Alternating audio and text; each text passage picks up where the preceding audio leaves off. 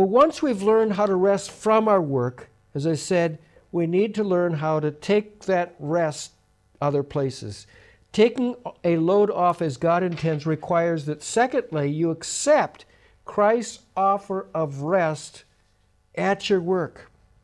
That doesn't mean you pretend to work while you sleep, but it's taking that rest, as I said again and again and again, to your workplace as an instrument of peace. The second part of the verses say this Take my yoke upon you and learn from me, for I am gentle and humble at heart, and you will find rest for your souls. For my yoke is easy and my burden is light. We're going to take his yoke, his work instrument upon ourselves. You see, the work, uh, the yoke is a work device, a tool that brings many good things to our working environment. It makes work easier because the load is shared.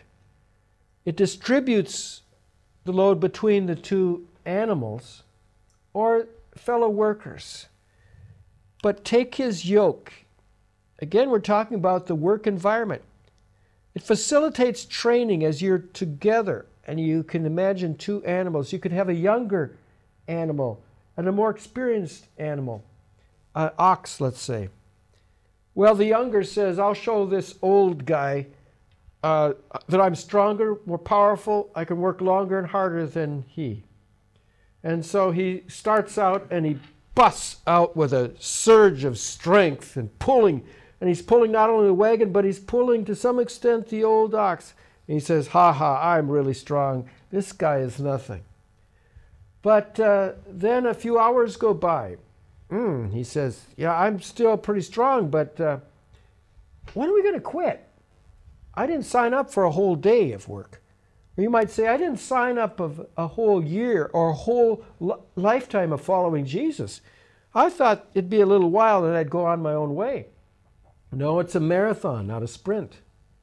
And so it is that uh, the young ox begins to fade a little bit, wane. Well, about the halfway point of the day of work, the two are together. And uh, the young ox has his tongue out. You know, this is hard. And then the day proceeds, and the young is kind of dragging, and the old one is keeping the steady pace, which is now a pace that is faster than the younger. And he's pulling the younger along. And by the end of the day, the younger has learned a big lesson that he's not as tough and strong as he thinks. He's been trained that it's for a distance that he must do, and he must reserve that energy. Many of us burst, many new Christians burst with energy, wanting to do everything for God, and before long they're wore out and in the ditch, so to speak, with burnout. Jesus says, Come and join me, and I'll train you together and, and develop teamwork. The sum total, the sum total of the parts is intended to be greater than the individual parts. It's called synergy, where you come together and one ox or one person plus another person is not only two, but it becomes two plus, two and a half. Think for a moment uh, about soccer, or as they call it, football around the world. If you have two players going in against the goalie, it's greater than even two players. It's more like even three. If you have one on one, the goalie can defend more easily. But two players, he says, which one is going to get the ball? He passes it here. Okay, it's this one. So that's two players. One is passing. But that other one can either shoot it or pass it back. And two becomes actually more than even two players because the options just multiply. Well, so teamwork multiplies, not just adds, but multiplies our efforts. And that's what God wants to show us. And this teamwork and this device of working together enhances companionship. As we work together, we become friends. Some of the closest relationships are the result of hard times, maybe war times, where one soldier had to trust another, and they bonded My father was this as, as a pilot in World War II. And all through his life, he wrote to his fellow partners, his cabin crew, his flight group of about 10 on this plane. And one by one, of course, they died, and there's, I believe, two left. But every year he would go to a reunion, and these men would come together from all around the world, actually, mainly America, but they would come together and they would enjoy the bond that they had developed during hard times. Well, hard times can enhance our companionship if we work under Christ's yoke together. Resting at work requires that you change masters. Some changes are going to have to happen inside of us. Take my yoke upon you and learn from me. We're going to have to be students of the Almighty Lord Jesus. The message says, Walk with me and work with me. Watch how I do it. Read again how Jesus worked. We never see Jesus running in the New Testament. He was moving right along at a right, steady persuasion and purpose pace. Rest at your work requires that you change values. So often we have values that at the root of those values there's selfishness, selfish ambition. Ambition can be good where we take use of or make use of the opportunities that come our way, but ambition can be wrong when we step on others to get ahead and we won't accept being our best. We have to be the best, better than anyone else. But one of the great values of the Christian life is humility. Humility is necessary for every person to humble ourselves, and no one was more humble than the Lord Jesus. Learn the unforced rhythms of grace. In St. Petersburg, Russia, there's a bridge. And like many places in St. Petersburg, there are statues.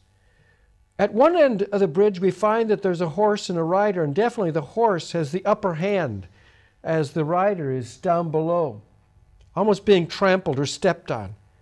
And this horse, if you look carefully, and you're able to be there to see that its hooves are not shod. That is, it doesn't have shoes. And the blanket is not on. And the bridle is not held by the rider. This is a horse that is unbroken, a strong animal. But as you cross the bridge, you find that the statue is quite different. Well, the horse still has strength. The rider is now getting the upper hand. The horse is now shod or has shoes on it. A blanket is being placed upon its back. The bridle is being held. What's the difference between a horse that is broken and trained and one that is not? Is it a matter of strength? Not necessarily at all. But the difference between the broken horse, the one that is trained, the one that is not, is a matter of gentleness. Gentleness is not weakness, but gentleness is strength under control. Through humility, we enter a, of a state of mind where we are useful. We are not weaker when we're humble. We're not meek and weak, but we are useful in the hands of God. And He can steer us with limited pressure into right paths. Humility is said or put this way William Farley, the indispensable virtue that he calls humility. Humility is not self hatred or lack of self confidence. Rather, it is the ability to see yourself through God's eyes. A humble person increasingly sees himself as he really is wretched, pitiful, poor, blind, and naked. Ironically, such humility lays the foundation for contentment and self or healthy self esteem. In contrast, pride is spiritual blindness.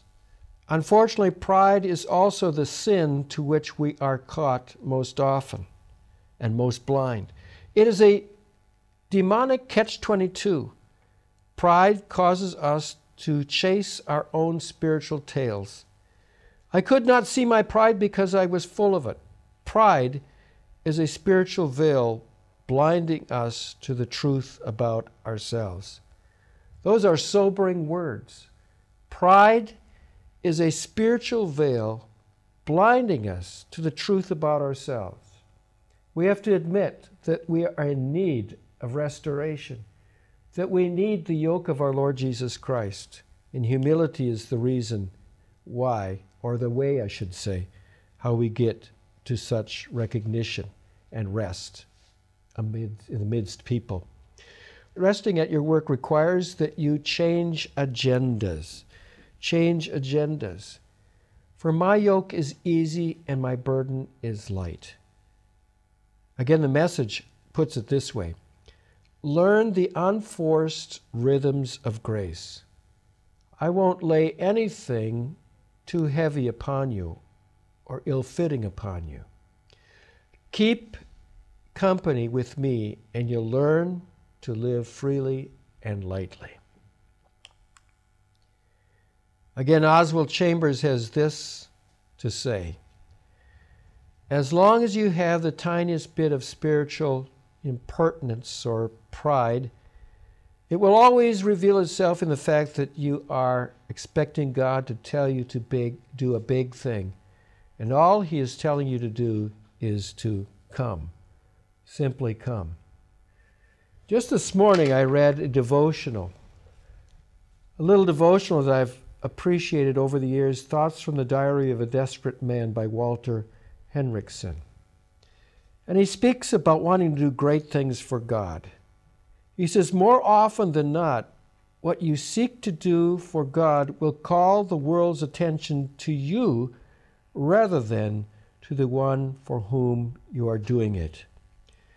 Your heart may burst with love and devotion to Christ, causing you to want to do great things for Him. This is only natural, and God accepts such expressions. But remember what He said to King Solomon Walk in my statutes, and execute my judgments, and keep all my commandments Nothing you ever do for God can act as a substitute for a life of obedience. So beware of wanting to do big things for God. While we continue being a benevolent project, your kind donations will continue to be vital in fulfilling the calling of TVS ministry. We do count on your gracious support and cooperation. For detailed information, please visit tvsseminary.com.